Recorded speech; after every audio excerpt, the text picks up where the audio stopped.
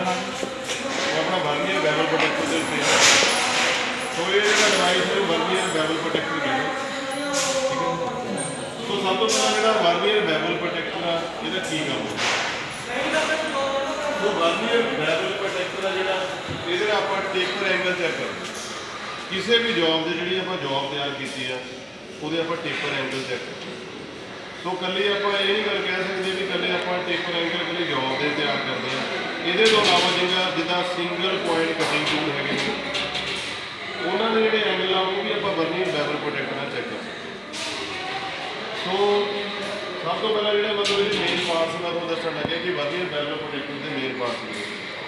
ਜਿਹਦਾ ਸਭ ਤੋਂ ਪਹਿਲਾਂ ਗੱਲ ਕਰੀਏ, ਇਹਦੇ ਵਿੱਚ ਜਿਹੜਾ ਇਹ ਆਪਣਾ ਡਿਸਕ ਆ ਗਈ ਆਊਟਰ ਪਾਰਟ ਇਹ ਆਪਣਾ ਜਿਹੜਾ ਹੈਗਾ ਅੰਦਰ ਡਾਇਲ ਆ ਗਈ। ਡਾਇਲ ਤੋਂ ਬਾਅਦ ਇਹ ਜਿਹੜਾ ਲੌਕਿੰਗ ਸਕਰੂ ਆ ਗਈ।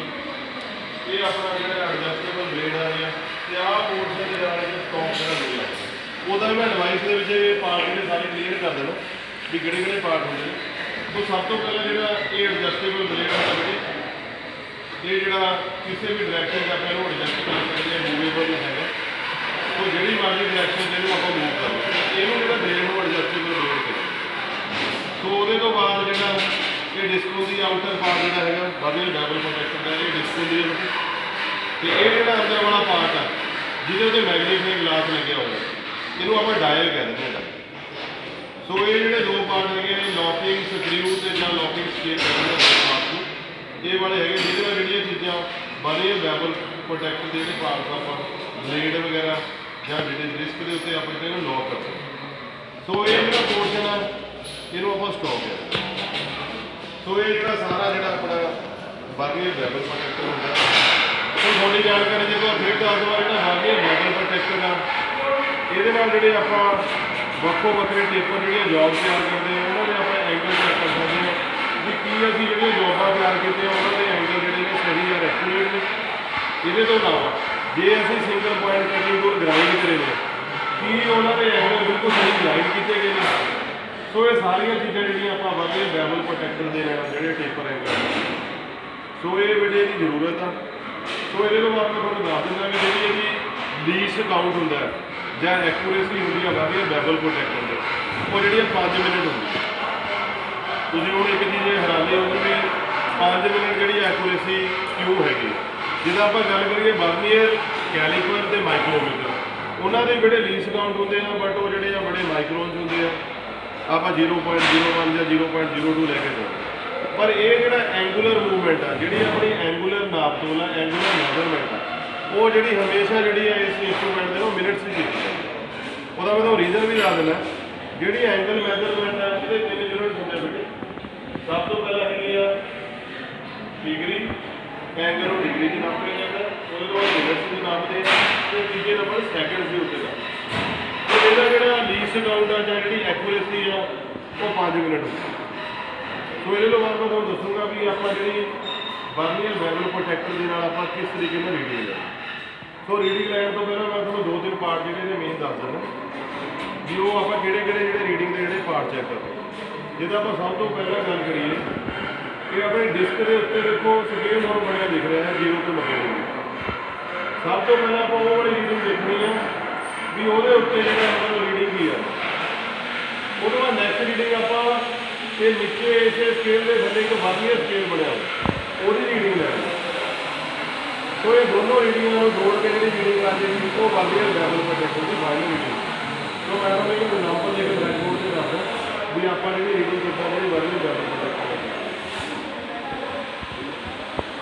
ਸੋ ਇਹ ਫੋਰ ਐਗਜ਼ਾਮਪਲ ਇਹ ਜਿਹੜੀ ਹੈਗੀ ਆ ਤੁਹਾਡੇ ਕੋਲ ਇੱਕ ਰੀਡਿੰਗ ਹੈਗੀ ਆ ਜਿਹੜੀ ਮੈਂ ਇਸ ਡਾਇਗਰਾਮ ਰਾਹੀਂ ਤੁਹਾਨੂੰ ਦਿਖਾ ਰਿਹਾ ਇਹਦੇ ਵਿੱਚ ਰੀਡਿੰਗ ਲੈਣ ਲੱਗੇ ਤੁਸੀਂ ਹਮੇਸ਼ਾ ਧਿਆਨ ਰੱਖਣਾ ਹੈ। ਸਭ ਤੋਂ ਪਹਿਲਾਂ ਜਿਹੜੀ ਆ ਆਊਟਰ ਰੀਡਿੰਗ ਲਈ outer reading means mains scale reading ਉਹ ਮੇਨਸ ਦੀ ਰੀਡਿੰਗ ਜਿਹੜੀ ਆ ਤੁਸੀਂ ਕਿਵੇਂ ਚੈੱਕ ਕਰਨੀ ਆ ਤੁਹਾਨੂੰ ਕਿਵੇਂ ਪਤਾ ਲੱਗੂਗਾ ਵੀ ਇਹਦੀ ਮੇਨ ਸਕੇਲ ਰੀਡਿੰਗ ਇੱਥੇ ਹੈਗੀ ਆ ਸੋ ਤੁਸੀਂ ਜਿਹੜੀ ਆ ਸਭ ਤੋਂ ਪਹਿਲਾਂ ਵਰਨੀਅਰ ਸਕੇਲ ਦੀ ਜਿਹੜੀ ਆਪਾਂ ਜ਼ੀਰੋ ਚੈੱਕ ਕਰਨੀ ਆ ਕਿ ਮੇਨ ਸਕੇਲ ਦੇ ਬਰਾਬਰ ਕਿਹੜੀ ਜਗ੍ਹਾ ਤੇ ਖੜੀ ਹੈ। ਫੋਰ ਐਗਜ਼ਾਮਪਲ ਇਸ ਡਾਇਗਰਾਮ ਦੇ ਵਿੱਚ ਇਹ ਜਿਹੜੀ ਰੀਡਿੰਗ ਆ 70 ਹੈ। ਉਹ ਜ਼ੀਰੋ ਖੜੀ ਹੈ 71 ਤੋਂ ਬਾਅਦ। ਸੋ ਮੇਨ ਸਕੇਲ ਕਿਹੜੀ ਰੀਡਿੰਗ ਆ ਤੁਸੀਂ ਉਹਦੇ ਜਿਹੜੀ ਲਿਖੋਗੇ? 70 ਤੋਂ ਬਾਅਦ 71 ਹੋਵੇ ਸੋ ਮੇਨ ਸਕੇਲ ਰੀਡਿੰਗ ਜਿਹੜੀ ਆਪਾਂ 70 ਵਾਲੀ ਸੋ ਉਹ ਤੋਂ ਬਾਅਦ ਨੈਕਸਟ ਰੀਡਿੰਗ ਆ ਕਿ ਵਰਨੀਅਰ ਸਕੇਲ ਵਾਲੀ ਜਾਂ ਨੀਚੇ ਵਾਲੀ ਸਕੇਲ ਵਾਲੀ ਸੋ ਇਹ ਰੀਡਿੰਗ ਆਪਾਂ ਕਿਵੇਂ ਚੈੱਕ ਕਰਨੀ ਹੈ? ਇਹ ਰੀਡਿੰਗ ਆਪਾਂ ਚੈੱਕ ਕਰਾਂਗੇ ਵੀ ਕਿਹੜੀ ਇਹੋ ਜਿਹੀ ਲਾਈਨ ਆ, ਜਿਹੜੀ ਵਰਨੀਅਰ ਸਕੇਲ ਜਿਹੜੀ ਆ, ਉਹ ਮੇਨ ਸਕੇਲ ਦੀ ਨਾ ਇੱਕੋ ਲਾਈਨ ਬਣਾ ਵੀ ਦੋਨੋਂ ਲਾਈਨਾਂ ਜਿਹੜੀਆਂ ਆਪਸ ਦੇ ਵਿੱਚ ਇੱਕੋ ਲਾਈਨ ਬਣਾਉਂਦੀਆਂ ਉਹ ਵਾਲੀ ਜਿਹੜੀ ਆਪਾਂ ਲਾਈਨ ਆ, ਉਹ ਵਰਨੀਅਰ ਸਕੇਲ ਦੀ ਚੈੱਕ ਕਰਾਂਗੇ ਵੀ ਕਿਹੜੀ ਲਾਈਨ ਜਿਹੜੀ ਆ ਮੇਨ ਸਕੇਲ ਦੇ ਨਾਲ ਇੱਕੋ ਲਾਈਨ ਸੋ ਇਸ ਲਾਈਨ ਦੇ ਵਿੱਚ ਜਿਹੜਾ ਆਪਾਂ ਦੇਖ ਰਹੇ ਹਾਂ ਵਰਨੀਅਰ ਸਕੇਲ ਦੇ ਡਾਇਗਰਾਮ ਦੇ ਵਿੱਚ 1 2 3 4 5 6 ਇਹ 6th ਲਾਈਨ ਹੈ ਜਿਹੜੀ ਜਿਹੜੀ ਇੱਕੋ ਲਾਈਨ ਜਿਹੜੀ ਆ ਮੇਨ ਸਕੇਲ ਦੇ ਨਾਲ ਵਰਨੀਅਰ ਦੀ ਬਣਾਉਂਦੀ ਸੋ ਵਰਨੀਅਰ ਸਕੇਲ ਦੀ ਰੀਡਿੰਗ ਹੈ ਜਿਹੜੀ ਉਹ ਕੀ ਹੋ ਜਾਏਗੀ? 6 ਸੋ ਇਸ ਰੀਡਿੰਗ ਨੂੰ ਜਿਹੜਾ ਆਪਾਂ ਲੀਸ ਅਕਾਊਂਟ ਨਾਲ ਮਲਟੀਪਲਾਈ ਕਰਨਾ ਲੀਸ ਲੀਸਟ ਕਾਊਂਟ ਜਿਹੜਾ ਮੈਂ ਤੁਹਾਨੂੰ ਪਹਿਲੇ ਹੀ ਦੱਸਿਆ ਵੀ ਵਰਨੀਅਰ ਬੈਬਲ ਪ੍ਰੋਟੈਕਟਰ ਦਾ ਜਿਹੜਾ 5 ਮਿੰਟ ਸੋ 6 ਬਾਈ ਦਾ 30 ਸੋ ਟੋਟਲ ਰੀਡਿੰਗ ਜਿਹੜੀ ਵਰਨੀਅਰ ਸਕੇਲ ਦੀ ਆਪਣੇ ਕੋਲ ਆ ਗਈ 30 ਸੋ 30 ਕਲਰ ਹੈ ਆਪਣੇ 30 ਮਿੰਟ ਆ। ਠੀਕ ਹੈ ਸੋ ਟੋਟਲ ਰੀਡਿੰਗ ਜਿਹੜੀ ਆਪਾਂ ਇਸ ਵਰਨੀਅਰ ਬੈਬਲ ਪ੍ਰੋਟੈਕਟਰ ਦੀ ਕਿੰਨੀ ਹੋਗੀ 71 ਡਿਗਰੀ 71 ਡਿਗਰੀ ਆ। ਇਹ 71 ਦੇ ਡਿਗਰੀ ਕਿਉਂ ਲਾਇਆ ਗਿਆ? ਬਿਕੋਜ਼ ਜਿਹੜੀ ਮੇਨ ਸਕੇਲ ਦੀ ਰੀਡਿੰਗ ਆ, ਉੱਪਰ ਵਾਲੀ ਡਿਗਰੀ ਦੇ ਵਿੱਚ ਉਹ ਮਿੰਟ ਤੋਂ ਨਹੀਂ ਸੋ ਇਹ ਹੁਣ ਉੱਪਰ ਵਾਲੀ ਜਿਹੜੀ 71 ਡਿਗਰੀ ਸੋ ਜਿਹੜੀ ਵਰਨੀਅਰ ਸਕੇਲ ਦੀ ਨਾਲ ਰੀਡਿੰਗ ਆਈ, ਉਹ ਮੈਂ ਲਿਖਤਾ ਨਾਲ 30 ਸੋ ਰੀਡਿੰਗ ਜਿਹੜੀ ਬਹੁਤ ਜ਼ਿਆਦਾ ਸੌਖੀ ਹੈ ਸੋ ਇਹਦੇ ਤੋਂ ਬਾਅਦ ਤੁਹਾਨੂੰ ਮੈਂ ਕਈ ਚੀਜ਼ਾਂ ਜਿਹੜੀਆਂ ਹੋਰ ਦੱਸ ਦਿੰਦਾ। ਉਹ ਕੀ ਹੈਗਾ? ਵੀ 1 ਡਿਗਰੀ ਦੇ ਵਿੱਚ ਜਿਹੜੇ ਆ 1 degree is equal to 60 minutes 1 degree is equal to 60 minutes ਥੋੜਾ ਜਿਹਾ ਆਪਾਂ 1 ਡਿਗਰੀ ਨੂੰ ਸੈਕਿੰਡਸ ਦੇ ਵਿੱਚ ਕਨਵਰਟ ਕਰਦਾ ਸੈਕਿੰਡਸ ਦੇ ਵਿੱਚ। ਸੋ 60 1 ਮਿੰਟ ਦੇ ਜਿਹੜੇ ਹੁੰਦੇ ਆਪਣੇ ਕਿੰਨੇ ਸੈਕਿੰਡ ਹੁੰਦੇ ਆ? 60 ਸੋ ਇਹਨੂੰ ਆਪਾਂ 60 ਨਾਲ ਮਲਟੀਪਲਾਈ ਕਰ ਦਾਂਗੇ।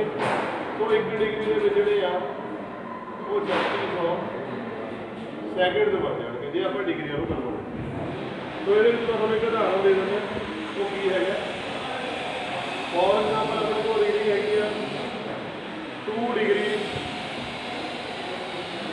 45 ਮਿੰਟ ਸੋ ਇਹਨੂੰ ਆਪਾਂ ਮਿੰਟ ਵਿੱਚ ਕਨਵਰਟ ਕਰਨਾ we have to convert it into minutes ਇਹਨੂੰ ਆਪਾਂ ਮਿੰਟ ਚ ਬਦਲਣਾ ਸਾਨੂੰ ਪਤਾ ਹੈ ਵੀ 1 ਡਿਗਰੀ ਚ ਕਿੰਨੇ ਮਿੰਟ ਹੁੰਦੇ ਆ 1 ਡਿਗਰੀ ਦੇ ਥੋੜੇ ਤੋਂ ਮਿੰਟ ਹੁੰਦੇ ਨੇ 60 ਸੋ 2 ਡਿਗਰੀ ਚ ਕਿੰਨੇ ਬਣ ਗਏ 120 ਸੋ ਆ 2 ਡਿਗਰੀ ਵਾਲੀ ਜਗ੍ਹਾ ਆਪਾਂ ਕੀ ਲਿਖ ਦਾਂਗੇ? 120 ਮਿੰਟ। ਪਲੱਸ ਇਹ ਆਪਾਂ ਐਡ ਕਰ ਦਾਂਗੇ। Plus 45 minute. ਸੋ ਟੋਟਲ ਕਿੰਨੇ ਬਣ ਗਏ? 165 ਮਿੰਟ। ਸੋ ਇਹ ਆਪਣਾ ਮਿੰਟ ਦੇ ਵਿੱਚ ਕਨਵਰਟ ਕਰਨ ਦਾ ਤਰੀਕਾ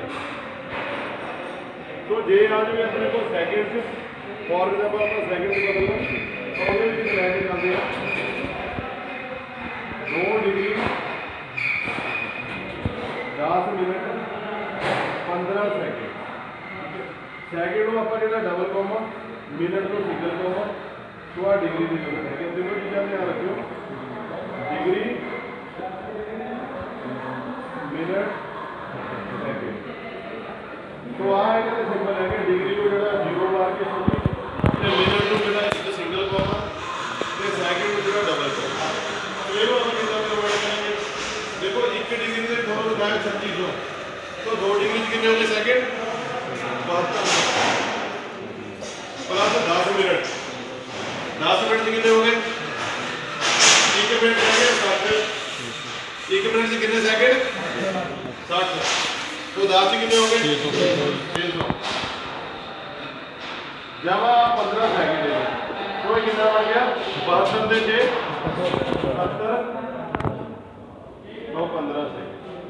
ਸੋ। ਆ ਤਰੀਕਾ ਜੇ ਮਤਲਬ ਇਹਨਾਂ ਨੂੰ ਆਪਾਂ ਇੱਕ ਦੂਜੇ ਉਹਦੇ ਵਿੱਚ ਕਨਵਰਟ ਵੀ ਕਰੋ। ਉਹ ਇਸ ਤਰੀਕੇ ਨਾਲ ਜਿਹੜੀ ਆਪਾਂ ਵੱਖੋ ਵੱਖਰੀ ਜਿਹੜੀ ਐਂਗੂਲਰ ਮੈਜ਼ਰਮੈਂਟ ਆ, ਵੱਖੋ ਵੱਖਰੇ ਜੁੜਨ ਤੇ ਆਪਾਂ ਕਨਵਰਟ ਵੀ ਕਰ ਸਕਦੇ ਆ ਸਕਿੰਟਾਂ ਦੇ ਵਿੱਚ ਵੀ ਡਿਗਰੀ ਨੂੰ ਜਿਹੜਾ ਮਤਲਬ ਮਿੰਟਸ ਦੇ ਵਿੱਚ ਵੀ ਸੈਕਿੰਡ ਦੇ ਵਿੱਚ। ਉਹ ਵਰਨੀਅਰ ਬੈਵਲ ਪ੍ਰੋਟੈਕਟਰ ਦਾ ਜਿਹੜਾ ਹੈਗਾ ਮੇਨ ਕੰਮ ਇਹ ਹੈਗਾ ਵੀ ਆਪਾਂ ਟੇਪਰ ਜੌਬ ਦਾ ਜਿਹੜਾ ਮੈਜ਼ਰਮੈਂਟ ਕਰਦੇ ਸੋ ਇਹਦੇ ਤੋਂ ਆਪਾਂ ਇਹਨੂੰ ਜੇ ਪ੍ਰੈਕਟੀਕਲ ਜੌਬ ਹੈਗੀ ਆਪਣੇ ਕੋਲ ਦੇਖੋ ਜੀ। ਆ ਦੋ ਟੇਪਰ ਜੌਬ ਹੈਗੀ ਹੈ ਨੰਬਰ 1 ਇਹ ਹੈਗੀ ਹੈ ਇਹ ਜੋਬ ਦੀ ਜਿਹੜੀ ਆਪਾਂ ਐਂਗੂਲਰ ਮੈਜ਼ਰਮੈਂਟ ਆਪਾਂ ਕਿੱਦਾਂ ਕਰਾਂਗੇ? ਨੰਬਰ 2 ਆਪਣੇ ਕੋਲ ਕੇ ਟੇਪਰ ਜੋਬ ਹੈਗੀ ਹੈ ਸੋ ਇਹਨੂੰ ਆਪਾਂ ਜਿਹੜੀ ਇਹਦੀ ਟੇਪਰ ਐਂਗਲ ਜਿਹੜਾ ਆਪਾਂ ਕਿੱਦਾਂ ਚੈੱਕ ਸੋ ਇਹਦੇ 'ਚ ਮੈਂ ਤੁਹਾਨੂੰ ਸਭ ਤੋਂ ਪਹਿਲਾਂ ਦੱਸਣ ਲੱਗਿਆ। ਆਪਾਂ ਜਿਹੜਾ ਹੈਗਾ ਇਸ ਪੋਜੀਸ਼ਨ ਦੇ ਜਿਹੜਾ ਇਹਨੂੰ ਆਪਾਂ ਲਿਜਾ ਕੇ ਇਹਨੂੰ ਥੋੜਾ ਜਿਹਾ ਆਪਾਂ ਲੂਜ਼ ਕਰ ਲੈਣਾ ਦੋਨੋਂ ਲੌਕਿੰਗ ਲੂਜ਼ ਕਰਨ ਤੋਂ ਬਾਅਦ ਆਪਾਂ ਇੱਕ ਜਿਹੜੀ ਪੋਜੀਸ਼ਨ ਸੈੱਟ ਕਰਦੇ ਹਾਂ।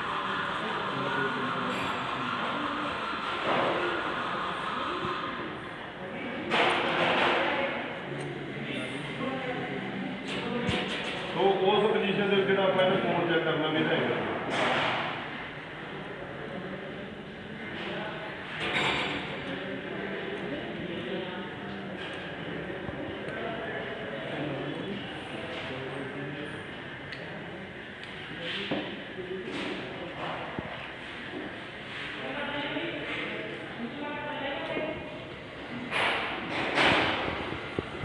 ਪੌਜ਼ ਕਰਨਾ ਆਪਾਂ ਜਿਹੜਾ ਇਹਦਾ ਐਂਗਲ ਜਿਹੜਾ ਪੈਰਲਲ ਐਡਜਸਟੇਬਲ ਪਲੇਟ ਜਿਹੜਾ ਆਪਾਂ ਕਰ ਠੀਕ ਹੈ? ਸੋ ਇਹ ਹੈਗੀ ਆਪਣੀ ਬੰਦੀ ਹੈ ਬੈਬਲ ਪ੍ਰੋਟੈਕਟਰ ਦੇ ਨਾਲ ਇਹ ਜੌਬ ਦੀ ਮੈਜ਼ਰਮੈਂਟ ਸੋ ਇੱਕ ਜਿਹੜੀ ਹੋਰ ਦੂਆ ਤਰੀਕਾ ਹੈਗਾ ਉਹ ਇਹ ਹੈਗਾ ਵੀ ਆਪਾਂ ਬੰਦੀ ਦੇ ਬੈਬਲ ਪ੍ਰੋਟੈਕਟਰ ਦੇ ਵਿੱਚ ਇਸ ਤਰੀਕੇ ਨਾਲ ਸਟਾਕ ਆ ਜਿਹੜਾ ਆਪਾਂ ਜੌਬ ਦੇ ਵਿੱਚ ਆਪਾਂ ਐਸ ਕਰਕੇ ਲੌਗਿੰਗ ਦੀ ਜਿਹੜੀ ਟਾਈਟ ਕਰਦੇ ਹਾਂ ਸੋ ਦੂਸਰੀ ਪੋਜੀਸ਼ਨ ਇਹ ਹੋਣੀ ਇਸ ਤਰੀਕੇ ਨਾਲ ਜਿਹੜਾ ਆਪਾਂ ਜੌਬ ਨੂੰ ਜਿਹੜਾ ਐਡਜਸਟੇਬਲ ਜਿਹੜਾ ਸਟਾਕ ਦੇ ਵਿੱਚ ਹੈ ਜਿਹਨਾਂ ਆਪਾਂ ਰਿਵਿਊ ਚੈੱਕ ਕਰ ਲੈਣੀ ਇਹ ਜਿਹੜੀ ਜੌਬ ਦੀ 60 ਡਿਗਰੀ ਜਿਹੜੀ ਐਸਐਮ ਰੀਡਿੰਗ ਹੈ ਸੋ ਦੋ ਤਰੀਕੇ ਹੈਗੇ, ਇੱਕ ਤਾਂ ਆਹ ਪੋਜੀਸ਼ਨ ਦੇ ਵਿੱਚ ਆਪਾਂ ਲੌਕ ਕਰਕੇ ਰੀਡਿੰਗ ਲੈ ਸਕਦੇ ਹਾਂ ਪੇਪਰ ਐਂਗਲ ਚੈੱਕ ਕਰਨਾ। ਤੇ ਦੂਜਾ ਤਰੀਕਾ ਹੈਗਾ,